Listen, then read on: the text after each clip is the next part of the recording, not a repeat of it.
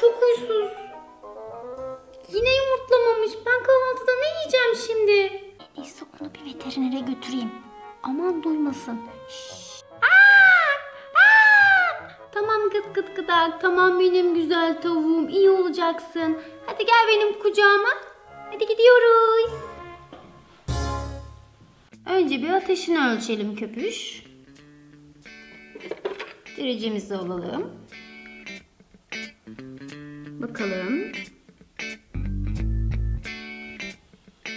Hmm, ateşin 38 derece. Şimdi ben sana bir ilaç yazacağım.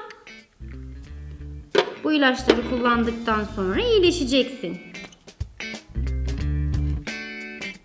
Al bakalım köpüş. Geçmiş olsun. Kuzucuk sıradaki hastayı alabiliriz. Sırada gıt gıt gıdak var veteriner hanım. Ayşe ve gıt gıt gıdak gelebilirsiniz.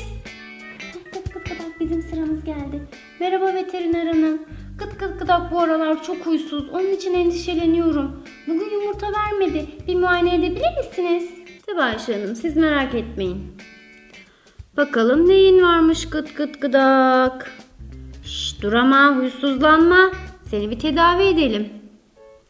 Önce ateşini ölçelim.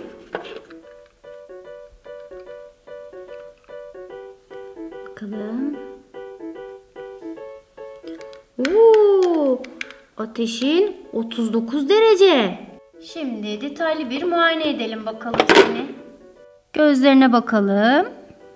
Hmm, görmede problem yok.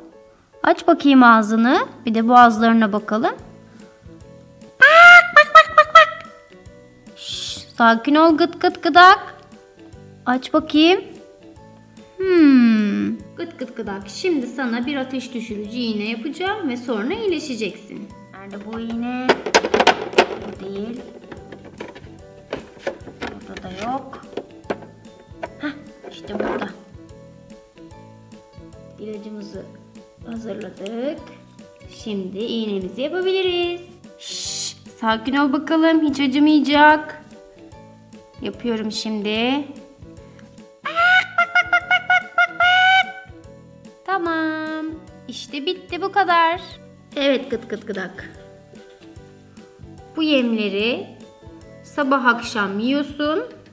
Sabah bir, akşam bir. Sonra yumurtluyorsun. Aa,